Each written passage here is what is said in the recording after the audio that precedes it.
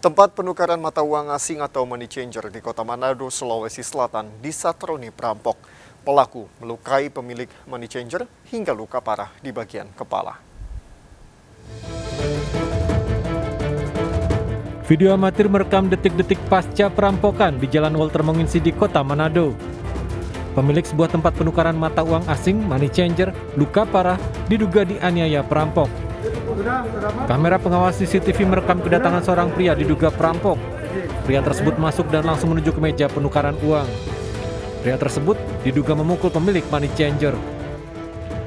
Perampokan itu baru diketahui warga sekitar setelah melihat korban keluar dalam keadaan berlumuran darah.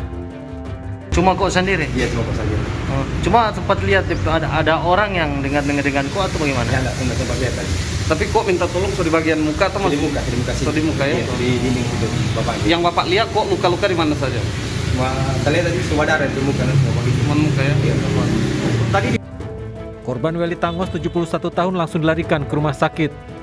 Polisi langsung melakukan penyelidikan namun belum bisa memastikan jumlah kerugian.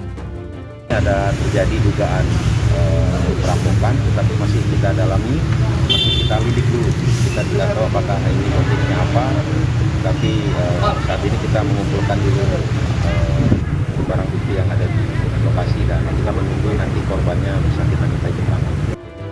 Sejumlah saksi telah diperiksa polisi, beberapa barang bukti juga telah diamankan. Namun polisi belum dapat memeriksa korban yang masih dirawat intensif di Rumah Sakit Profesor Kando, Manado. Dari Manado, Sulawesi Utara, Jeffrey Langi melaporkan.